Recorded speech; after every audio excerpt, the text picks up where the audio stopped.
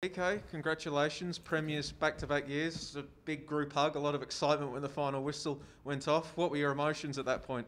Yeah, um, I I think it's I think it's been a big year, uh, excluding the final series. You know, um, obviously that what we've had to deal with, and I'm, I'm not just saying not just us, but um, a, a lot of clubs and back-to-back games, and you know you get put in situations that you've never been put in before because of you know the, the COVID situation. You know, you go away to Asia, you don't lose a game, you get 12 points, you don't qualify for the next round, which we always wanted to. So there, there's a lot of emotions that go in there, and then you know we, we come here and obviously we, I think first half we, we played really well. Um, maybe didn't control the game as much as we liked, and then Wellington get a goal, and you know again we we showed character. So I think it was just a build up of maybe nine months worth, um, even though we've still got a long way to go. But um, I think it was a build up and you know a satisfaction of you know some of the things that we've had to encounter this year. Do all those obstacles that you had to overcome, the fact that it, you had to come down to the last game of the season to do it, beating your rivals, does this one feel more special than last year? Um, I, I, I don't know. It depends how you look at it. You know, um, last year again we were faced with the unknown as well.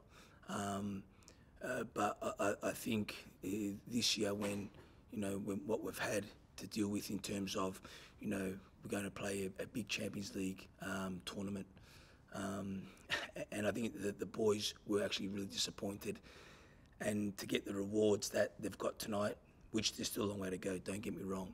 Um, you know, I, I think it's uh, again, I think it's a build up of emotion just to say, you know what, that we we did something that we we set out to do, um, and now we need to, you know, get ourselves clear and you know go again. Well, yeah, back-to-back premierships though. It's you know it's clearly a marker of sustained excellence and, and dominance. How pleasing is it that it wasn't just a flash in the pan or anything like that? You've you've done it two years in a row. You haven't had a little slip down the order or anything. Yeah, look, it's uh, for me. It's again, I I look at the performances um, and the way we've gone about playing our football, um, and again, you know, uh, sometimes things don't work, but it's a persistence of keep trying to improve, and, and that's what the group have done. Again, for me, it's nothing. It's all credit to the players. They've had to overcome adversity. They've had to overcome.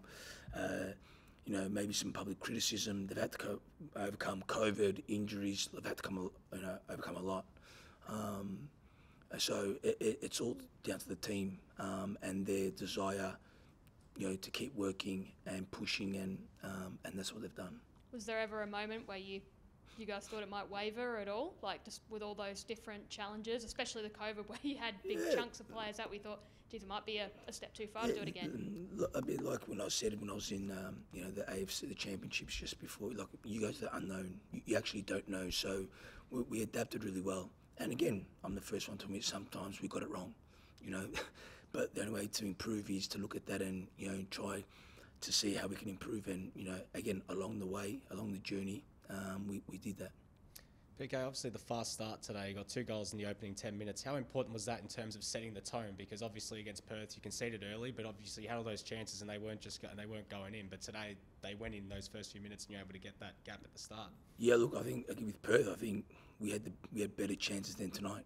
Um, actually, like proper clear cut chances. So um, it was different. Uh, you know, we scored off two set pieces, um, and you, you- know that you know everything is okay. But I was still you know not happy with the way we were playing. You know, in the first half and trying to penetrate, uh, and the second half when they score, you know, a- again i i you shift into a sometimes a mode of okay, we need to hold on. But for us, you know, I wanted to keep pushing, and for me, it's it, was the character that the players showed tonight um, under duress, and again what they've had to experience. And again, I'll make it clear, it's, it's our, our club, yes, but you know, it's credit I think to all the clubs and coaches that have had to deal with certain scenarios, you know, this year because um, it, it's been a, a challenging one. Yeah, absolutely. I mean, Taras Gomulka as well, in terms of his game today. Two, basically two assists in the first little bit with the two corners as well. I guess, how have you seen his development this year? Because obviously he's had to work his way into the team. He's made the most of Aiden's absence today.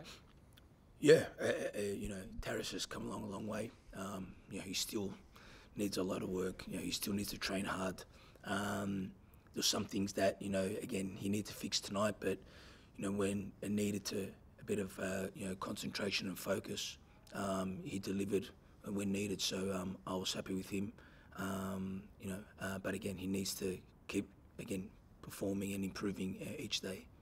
PK, you mentioned before about trying some things this season that didn't quite work out as well as you hoped and learning from them and improving on them. What were some of those adaptations that you think have been important throughout this season? Yeah, look, look, off the top of my head, you know, we've we've had to play with nine players out. Um, we've had internationals. um, we've had people with injuries.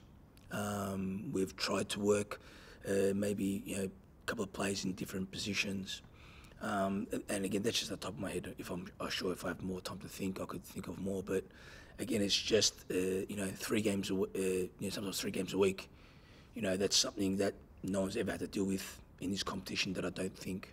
Maybe I'm wrong. Maybe in the past, I don't know. But you know, you, you, you're backing up, backing up, and with squads that we have, you know, you, are limited, and that's with everyone. So, you know, the, the amount of uh, duress that we put the players on, you know, credit goes to them because not only physically have they done well, but mentally um, they, have done really well. But again, it's nothing's done yet. You know, they've got a lot, a lot of work to do, and, and I'm saying that's my team. Yeah. You mentioned internationals, and of course, last finals campaign you lost a host of Socceroos. This campaign, you're keeping all of them. They're going to be in the squad. That must be a much more preferable scenario to last season for you as a coach. Yeah, but uh, when you look at it, you know the the times that you haven't had them, um, you know, sometimes, you know, if I, if I can think, I think we played against Western United, we didn't have them, and I think there was another time where we didn't have them, um, you know, and I think I think we lost to Western United. So, look, it's, it's again, it's one of those things that you look at at the end of it. Um, but again, even that, you know, the, the team have adapted really well, and players have, you know, had an opportunity to come in, you know, and to play and you know, hopefully they grow from, from this. It is enjoyable knowing you get to go into the finals, and I'm sure it's the same for a couple of other clubs as well, not losing those guys? One, just because obviously what they can do, but for the league itself, obviously you want to have the biggest and best sort of out, up there and firing. Yeah, look, I think as if you look at you know, um, yeah, football in general, you know, you want the best players um, to play in your league, in the A League, in the English Premier League, you know, the Serie A, League One, like the, you want the best players, and you know, um, it, it's it's better for us as a sport if we can have the, the, the, top players at all the clubs play. You know, when it goes missing, or when they go missing due to, for whatever reason, you know, say international breaks, you know, uh, it, it's hard because you want this product to grow. You know, I want the game in Australia to grow. Um, and it's, it's better for us if we can have the best players, the best coaches always available. Yeah, uh, Patrick, congratulations on a great achievement. How important or how how much of an impact for City and how important for City is to win this title when Melbourne Victory are actually decent?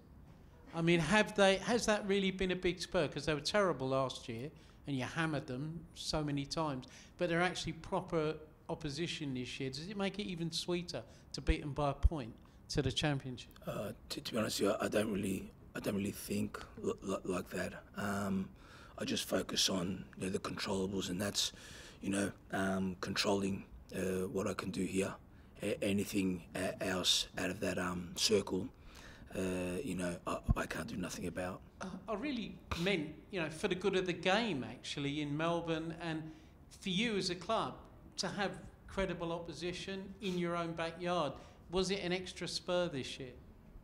Uh, no, no, it's you know, I think uh, I think every team uh, is a good team, regardless of where they sit on the ladder. I don't think the ladder sometimes justifies, you know, if a good team or a bad team where they sit. So, you know, I think in this competition you have uh, uh, every team uh, and every club uh, are good. So, you know, um, everyone's a tough opposition.